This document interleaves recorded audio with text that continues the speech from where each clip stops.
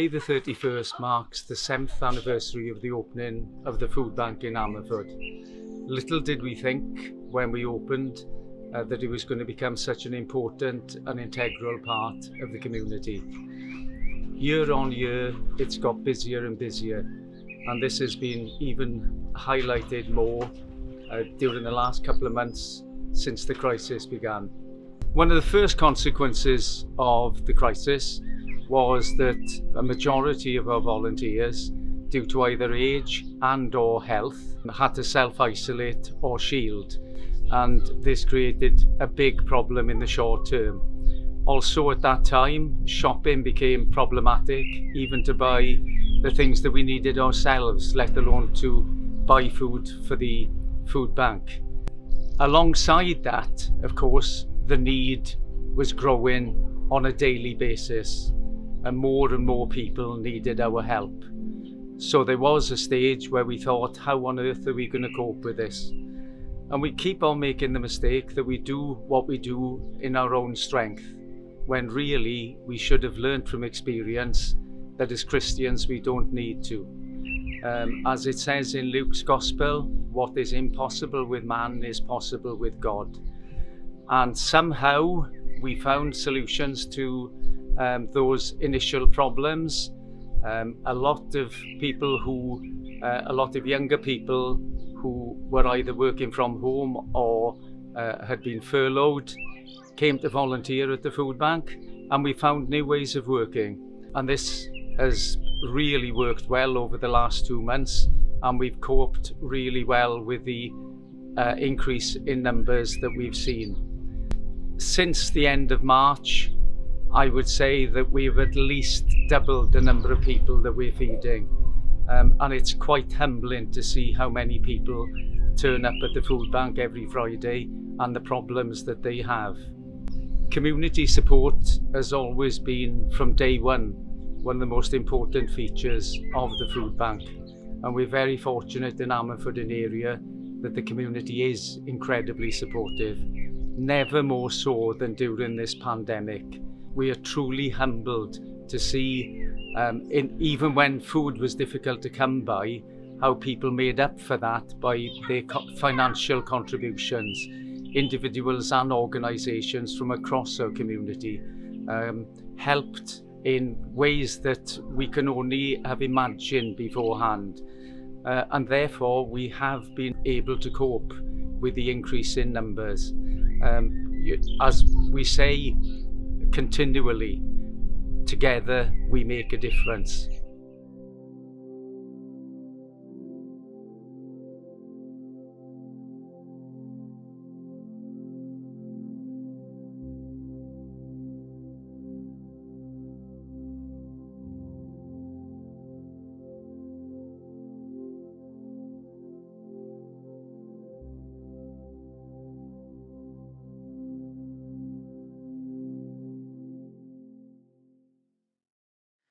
Well, good morning. Good morning. Welcome along to Ammanford Evangelical Church's morning service. Wherever you're connecting from, um, however you've managed to get involved this morning, it's good to have you with us.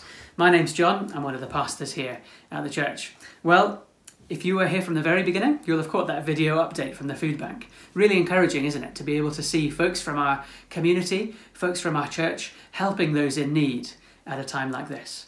You might also have heard Mydrim quoting those words of Jesus, where he said, Everything is possible with God. Nothing is impossible with God. Well, let's dwell on those words for a few moments as we begin. Perhaps you've been looking out at the world this week and the sadness of it, the loneliness, and the grief of a time like this has really been weighing on your heart. You've been wondering, how can we put this all together again?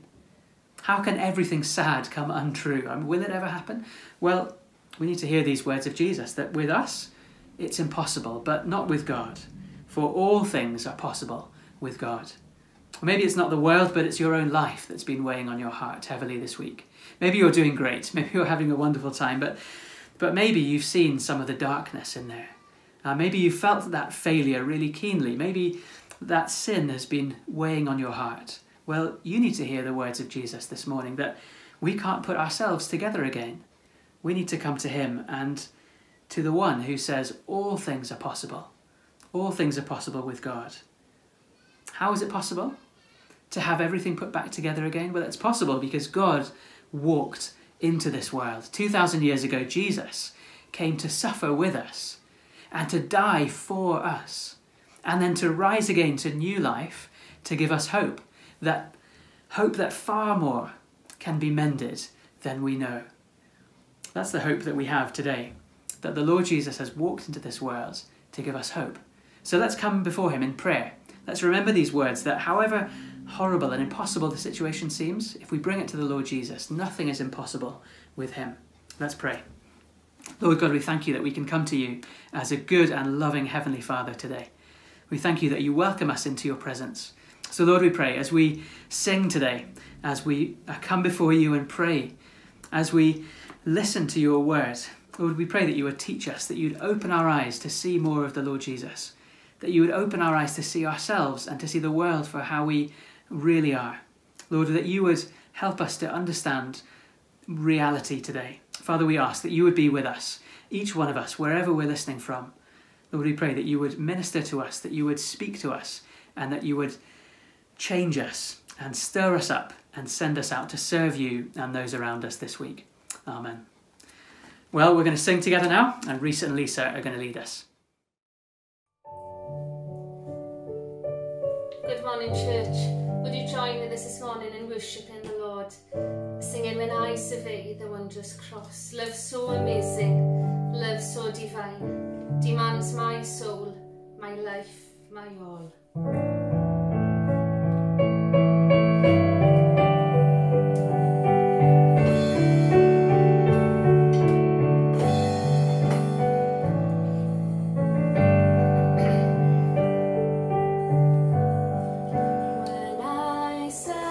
Amen.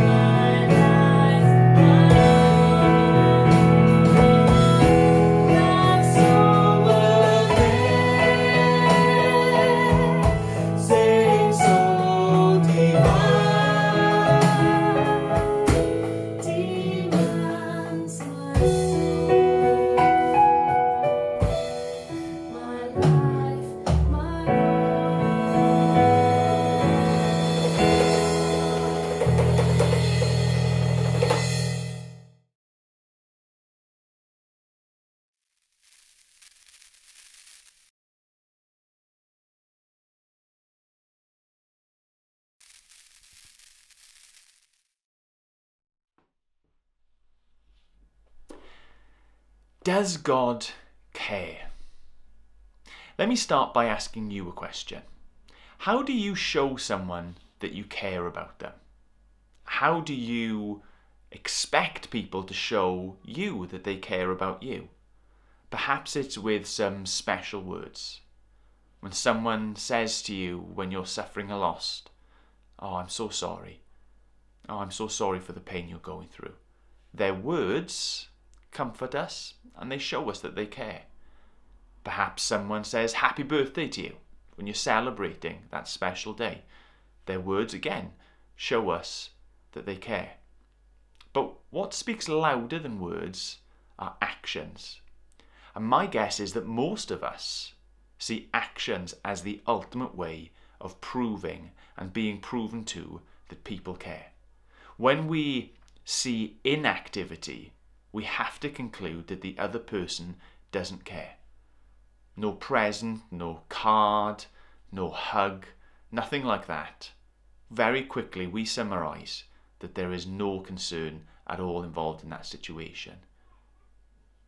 Have you ever been in that situation and you've thought to yourself, God, why aren't you doing anything? Not why are you doing something that I don't like, but why do you seem to be completely and utterly absent from my life? It can be a real personal question. As we're in the pit, as we're walking through the storm, as the pressure cooker builds and the temperature rises around us. It's you, it's God, and it really matters when it seems to us that nothing is happening. Don't you care? We can ask that same question in a far less personal way, but no less important a way.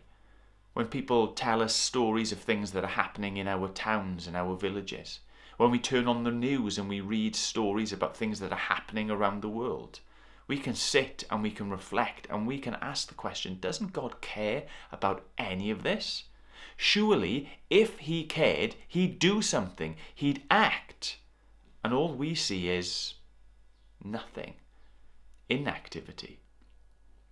You know, for some people, this may be you this morning, that inactivity leads them to go a step further. Not only does it generate a frustration within them, um, a, a question to bubble up does God care about any of this? But actually, to go that step further, to get the rubber out, and to erase God from history completely. That if He is not acting, then He doesn't even exist. You could be in any one of those places this morning, asking the question from a real personal point of view, asking the question from a slightly detached, more general point of view, or perhaps having given up on the question because you've already decided that God doesn't exist. What can I say to you this morning? Welcome. You are not alone. You're not alone today. You certainly aren't alone throughout human history. People have always asked this question, struggled with this question, wrestled with this question.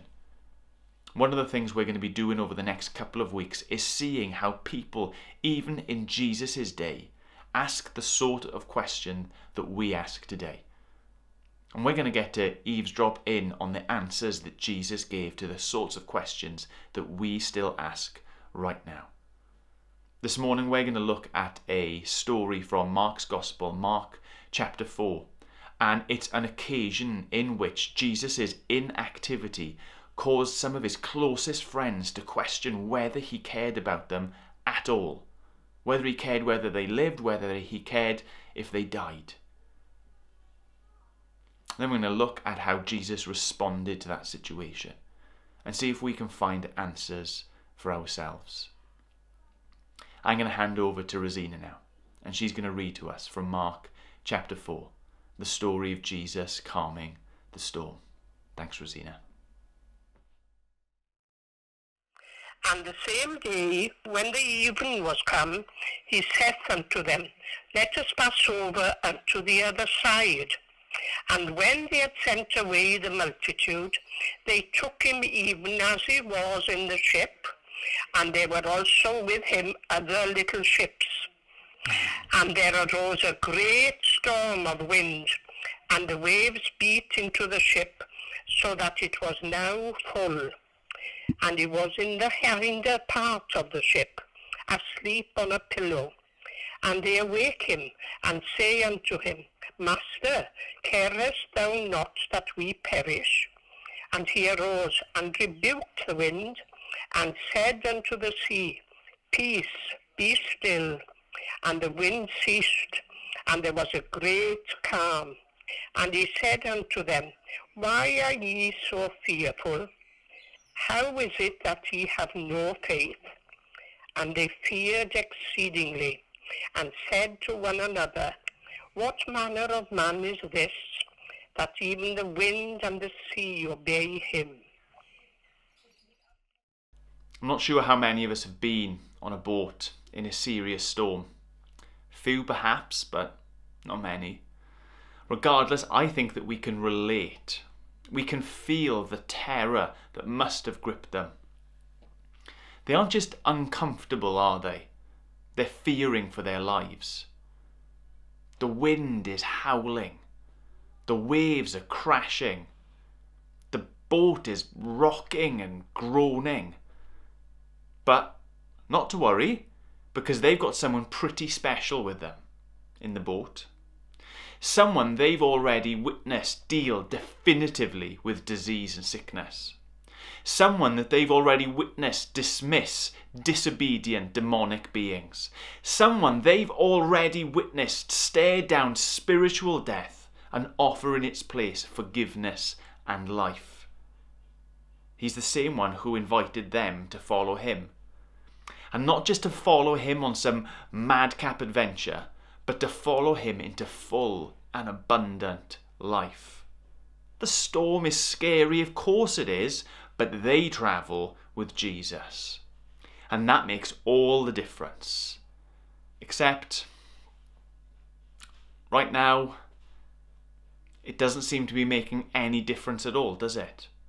As the wind is gathering pace, as each crashing wave gets louder and stronger, this Jesus, who's already done so much in front of their very eyes, he's literally nowhere to be seen.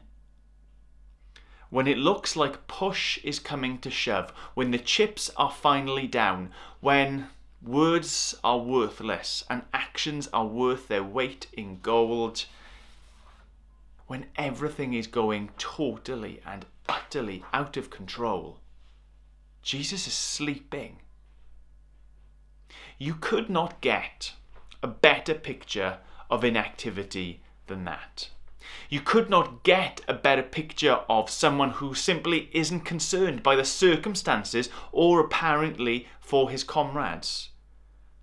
You can try and create your own story, but you won't get a better picture of how we all feel when the darkness surrounds us, when it presses in on us, and it seems that God is doing absolutely nothing.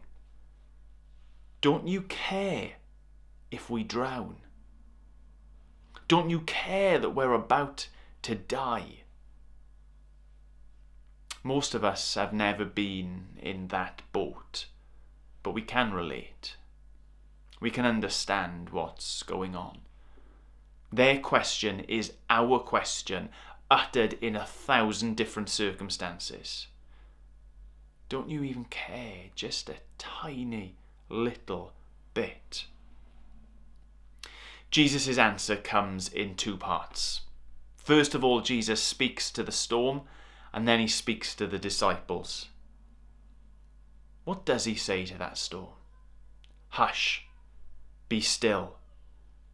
And with those simple words, the waves and the wind are silenced and calm. It's amazing actually to see that what is terrifying for his followers is trivial to him. How Jesus treats that storm shows us that inactivity may show many things, but it does not show inability.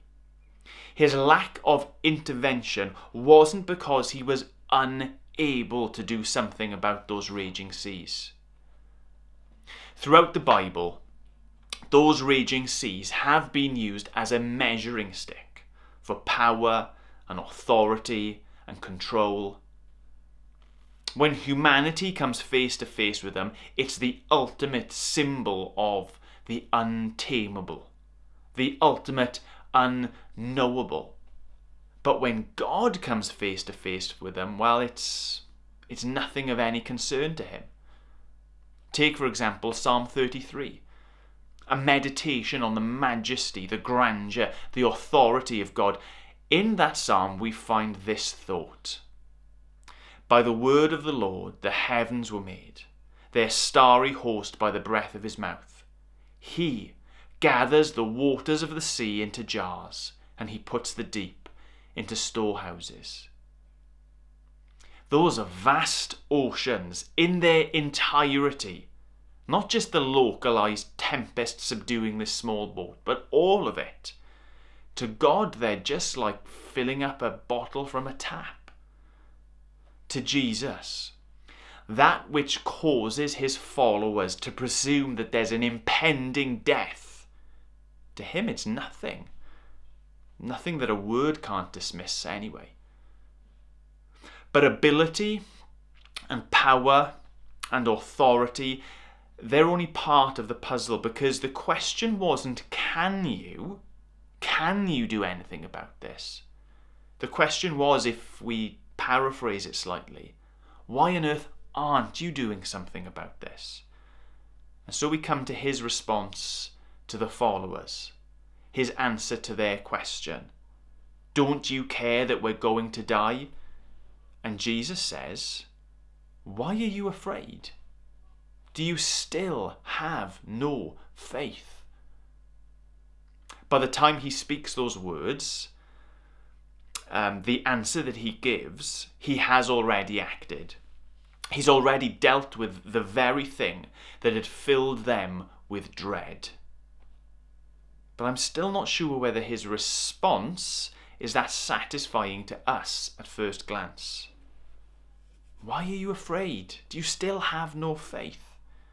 Apparently, Jesus' answer to them and to you and to me, to the question that we ask in testing difficult circumstances, his answer is why don't you have any faith? According to Jesus, the missing ingredient wasn't his action, but it was the disciples' faith in him. Now, for this to be a satisfying answer for us this morning, we need to try and grapple exactly with the question or exactly with the idea of what faith is. I think too often we settle for an idea of faith which is nothing more than blind optimism, crossing our fingers and wishing for the best. That would mean that Jesus is saying what they really needed to do as the clouds grew thicker and darker overhead was just to close their eyes and wish their wishes. But that idea of faith, blind optimism, it doesn't do justice to the word, and it certainly doesn't do justice to the situation that they found themselves in, does it? Later in the New Testament, one of Jesus' followers is going to define faith this way faith is assurance or confidence about the unseen. Now, you might not immediately be able to tell the difference between those two definitions the true definition given there, or the false definition that I started with. But when we scratch at the surface a little bit, we, we begin to see how it's something completely and utterly different. The disciple who penned that difference, that true definition, confidence in the unseen, goes on to describe what that looked like in the lives of many of the ancient saints. He cites people like Noah, like Abraham, like Sarah, like Samuel, like David, these weren't people who blindly hoped for the best. These were all people who had already heard who had already seen something of God, what his promises were for them, how he keeps his promises. They'd seen it, they'd experienced it for themselves, and that allowed them to keep their hope in the fulfillment of promises even before they'd come to pass. Faith, then, confidence in the unseen, isn't foundless, it isn't blind, it isn't simply wishing for the best, but it's responding to what God has already revealed. There's something about experiencing God in one moment and trusting Him in the next that we can call faith. When Jesus answered his disciples, then, Where is your faith? we need to remember that they had already seen so much. He'd already promised to love them and care for them and to lead them into life. So, faith in their present darkness, in their present storm, would have been continuing to hang on to the light that they'd already received. Don't you care? They asked. And Jesus might as well have answered, I've already told you and shown you that I do.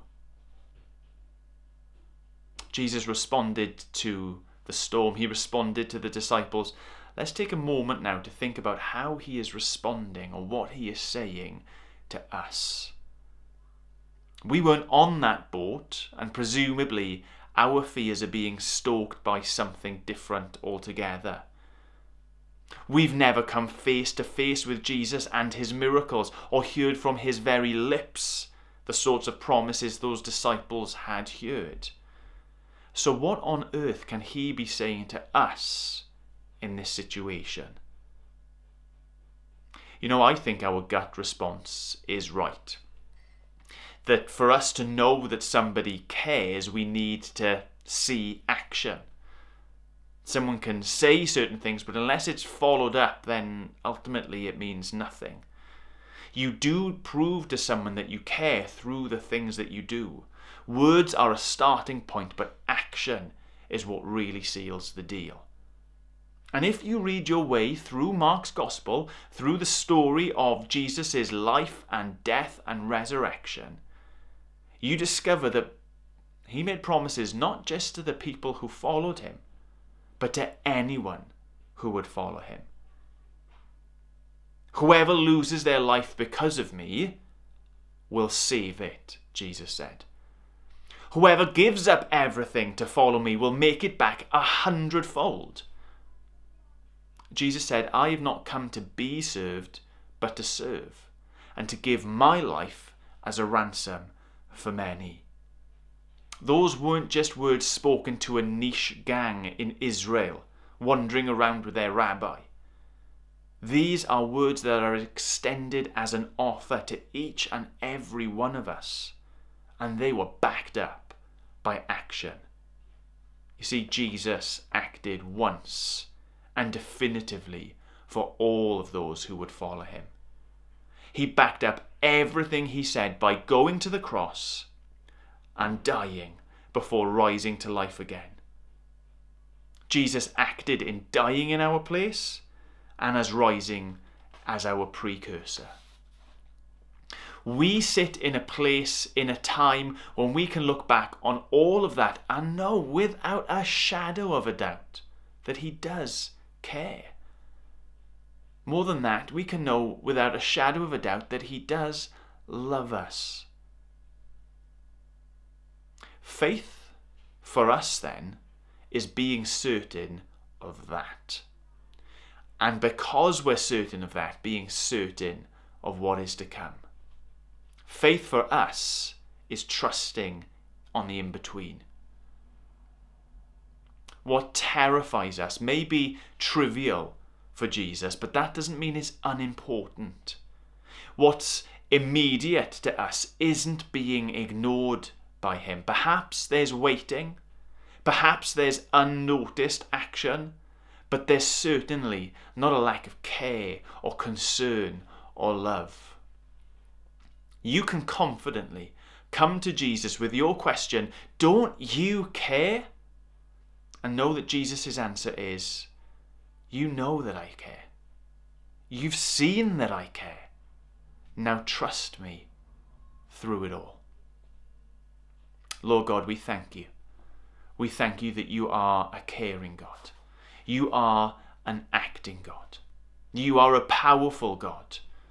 You are an everything God to us in Jesus. Lord, we don't like it when the storm clouds come. Lord, we don't like it when the darkness wraps itself around us. But we know that the light has come into the world. We know that Jesus came and lived and died and rose again in our place. Lord, give us the eyes to see the unseen. Give us faith to see and to trust in what He has already done. Lord, let that build up, let that bubble up inside of us to have faith and confidence in what He will do. Lord, and help that be an answer to us in our darkness, in our distress, in our suffering and our hurting, as we cry out the question, Don't you care to know? Yes, He does. Unquestionably, He cares for us. He is acting, He will act, and that we can trust Him always. Amen.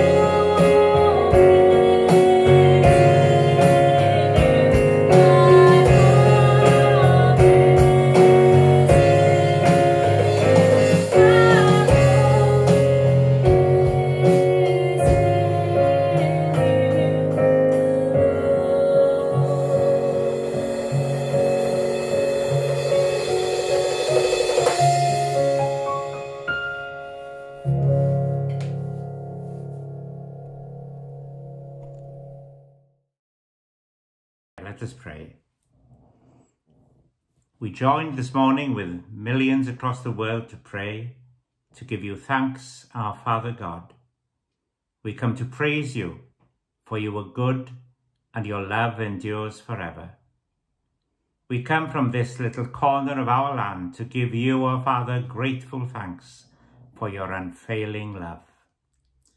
We praise you that you are not confined to a building or church, that you don't need YouTube or Zoom. You are in every home and every situation with your people. And yet we thank you for the technology that brings us together.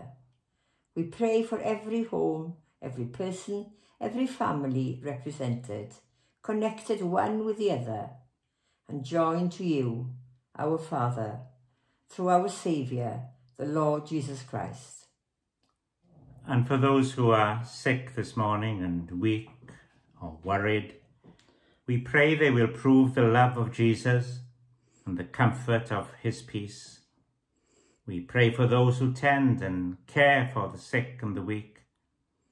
And we pray for those who are seeking to know the love of Jesus and those who try to show his love. We also pray for the food bank in Ammanford, where you have given strength and perseverance for seven years to reach out to help others in our community. We thank you that the work continues through these days of confinement. And we ask your blessing and those on those who come for food and for those who work there. We see your love at work in so many places and situations at this time. We see evidence of a selfless desire to help others and ask, O Lord, that many will come to value the selfless and perfect love of Jesus who gave himself for us. As the pandemic shows how little control we have over viruses, we give praise that you, O Lord, are in control. You're Lord of heaven and earth. Your ways are beyond our understanding, but we know we can rely on your goodness and love in all things. Be with those who are lonely. Cofia o dad am y miloedd nad ydynt yn gallu gweld teulu a ffrindiau. Cysura hwy at gwmni. Derbyn ninnau a gwna ni'n fwy tebyg i Iesu. To you, our Father, in Jesus, we pray and commit this day and all our days to you. For your glory. Amen. Amen. Amen. Well, we're just about the end of our time together this morning, so I wanted to say thank you to you for joining us, and thank you to all of those who've taken part, who've given time to put this all together this week. I hope it's been an encouragement and a help to you this morning, and perhaps it's been pretty new to some of us who are tuning in. Perhaps um, Christianity is all a bit new, and you'd like to find out a little bit more. It's kind of interesting, it sounds like it might be good news, but you still have a lot of questions. Well, if that's you, then we have something we call Christianity Explored going on at the moment. And there's still time to get involved if you'd like to. What we do is basically go through a, a bit of the Bible. It's one of the biographies of Jesus, a book called Mark. It's the book that that quotation at the very beginning of the service came from, where Jesus says, Nothing is impossible with God. We look at that story, one of the biographies of Jesus, and kind of work our way through it, just bit by bit, over, well, it'll be the next five weeks. We gather together on Zoom, read and watch a little video and discuss it together. Um, so if you would like to get involved with that, if that sounds like something that might be up your street, then you can comment on Facebook or on YouTube, let us know and we'll get back to you. Or you can head over to our website and use the contact form, give us your details and we'd love to connect you with that. Well, as we go, let me read to you these words of God's blessing over his people. May the Lord bless you and keep you. The Lord make his face to shine upon you and be gracious to you. The Lord lift up his face upon you and give you peace. Amen.